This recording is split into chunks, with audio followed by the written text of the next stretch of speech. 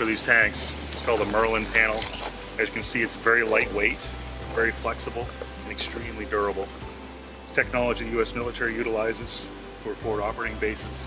Just a really tough, tough panel. We can actually walk on these. It gives us more surface area to lay the panels out. They're a peel and stick application, butyl backing. It's actually category 5 hurricane rated panel. The panels don't come off the roof.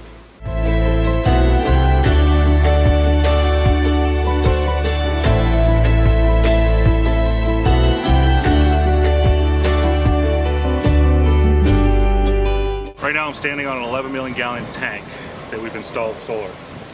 We have over 30 years experience in the oil and gas industry. And now we've been able to take our solar company and our solar experience and marry that with these bulk storage tanks.